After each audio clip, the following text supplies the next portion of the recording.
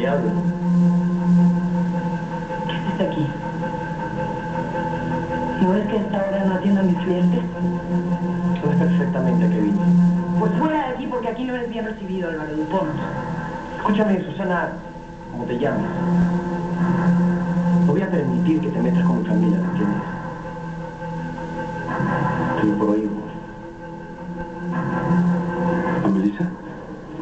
¿Quién te crees tú para permitirme o no permitirme algo? ¿No te bastó con el daño que me hiciste a mí? ¿No te atreves a echarnos barro después de toda la vergüenza que nos has hecho pasar? La vergüenza fue mía.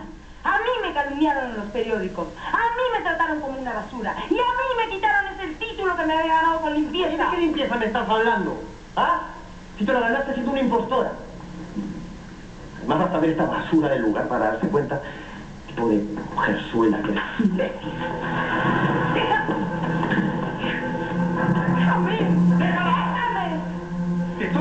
que. ¡Suéltala! ¿Qué diablos te pasa? ¡Fuera! ¡Fuera de aquí! Ya oíste a Susi, vete de una vez.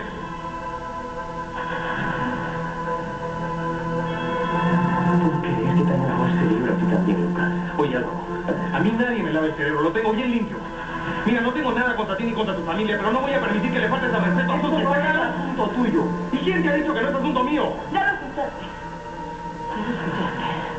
Estás en Agua Santa, no en Lima, Dupont. En Lima los Dupont pueden mandar, pero en Agua Santa los Dupont no mandan a nadie.